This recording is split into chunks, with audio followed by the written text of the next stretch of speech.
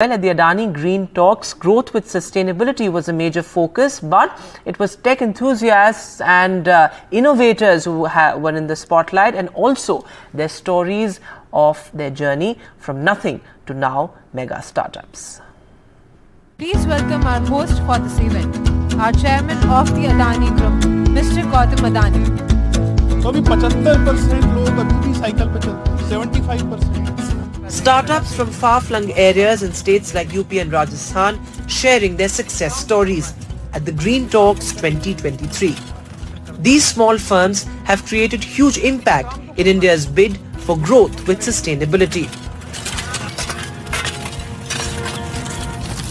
A pioneer of the Green Energy Initiative and chairman of the Adani Group, Mr. Gautam Adani was there to cheer them on and hail their efforts. Let me start off by thanking the chairman, Mrs. Adani, for the foundation that they have built. Green Talks. India's tech innovation was on display at the event. Dhruv Vidyut, a tech enthusiast, showcased his unique creation, a box named DVEC. This box, when fitted into a bicycle, could completely transform it, enabling the rider to cover long distances.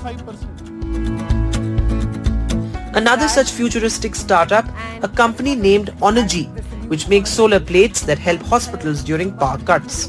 And many of the lights, then fans. The Marut drones on display at the event can't be missed. They help spray anti-malaria pesticides in rivers and ponds with unmatched efficiency.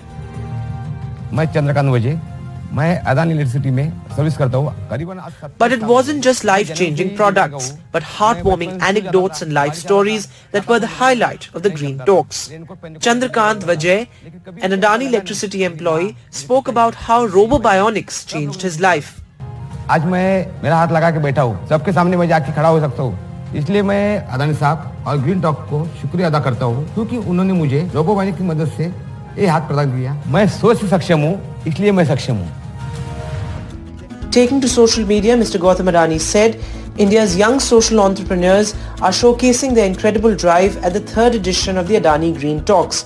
Their commitment to reaching the last mile and the most difficult parts of Bharat is truly admirable. These firms are a silver lining for people that come from areas that few can reach.